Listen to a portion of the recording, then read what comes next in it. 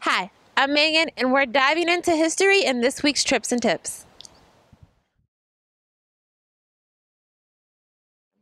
Women have always been workers. Explore the evolution of the working women from colonial times through two world wars and in today as you bike the National Mall.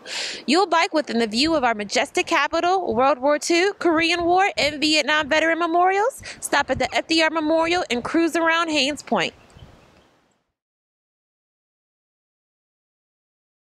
You're invited to learn more about Captain John Smith's historic voyage up to the Chesapeake to the mouth of the Susquehanna River.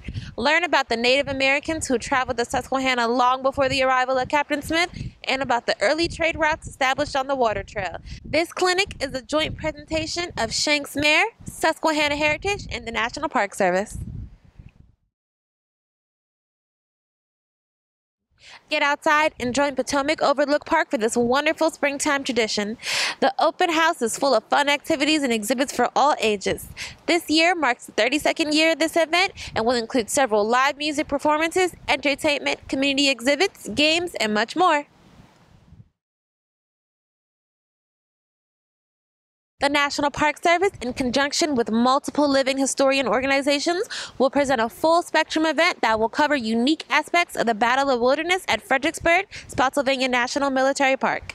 Taking place at Ellwood in the Tapp Farm Field, interpretive programs and in-depth living history presentations will reveal what happened 153 years ago on hallowed ground.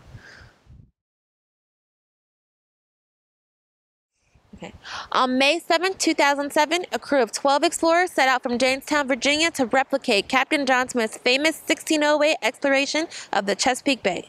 Now, 10 years later, the crew of the shallop is getting back together to share stories, pictures, and videos from their journey. Find more ways to explore the Chesapeake watershed at findyourchesapeake.com and sign up for our weekly newsletter brought to you in partnership with the National Park Service, Chesapeake Bay Office, and the Chesapeake Conservancy. And as always, I'll see you guys on the bay.